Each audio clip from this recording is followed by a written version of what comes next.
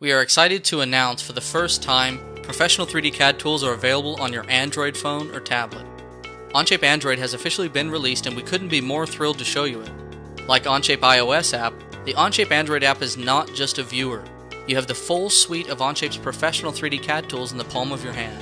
This means part creation with the full list of sketch and feature tools, full functioning assemblies, and soon access to your drawings as well. So let's jump into Onshape Android and take a look at its capabilities. After first logging in, you're greeted with the Documents page. You have the same filter, search, sort, copy, and share capabilities that you have in the web browser. Creating new documents can be done with the plus icon on the bottom right. So let's jump into a document and start building. It isn't until you're in a document that you start to realize the powerful capabilities of Onshape on a mobile device. To manipulate your model, you can use pinch to zoom, two finger drag to pan, and single finger drag to rotate. The toolbars and feature lists were built with touch in mind. Many of the tools in the toolbar are available in a flyout menu to save space in the interface. You can scroll through the feature list with a drag, or resize or collapse it altogether. So let's create a new part studio in the document and start sketching. I'll start by tapping the front plane and selecting the sketch icon in the toolbar. I'll use the two finger tap context menu to go normal to the sketch plane. We'll start by sketching a few circles. If I touch and hold with a single finger, it will enable the Precision Selector.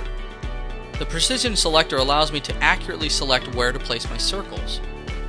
Next I'll add two lines, one construction line from center point to center point, and another line joining the two circles.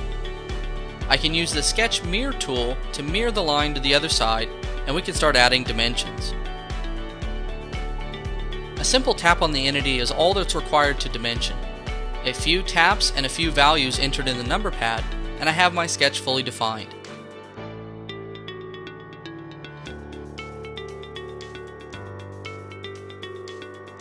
The last step before I extrude is to offset the two circles with the offset command.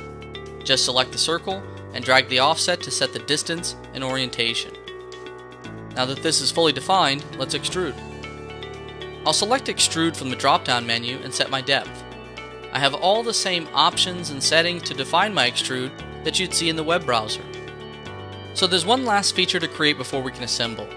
I'll tap the top plane and use the two finger tap context menu to start my sketch and view normal to sketch plane.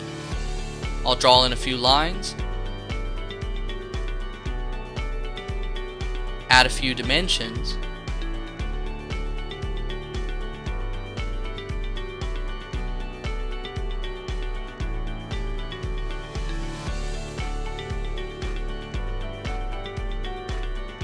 and we can extrude. I'll use the intersect option to get only the intersecting bodies of this part. The last thing I'll do is add a few fillets.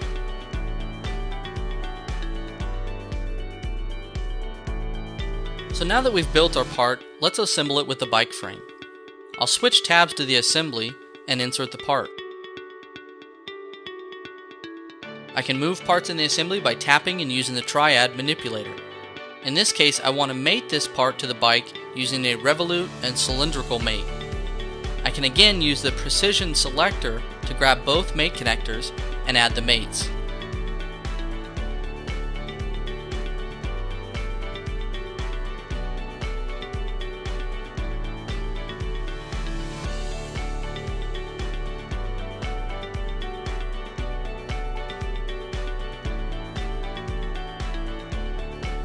Once everything is assembled, I can use the triad manipulator to test the motion of my assembly.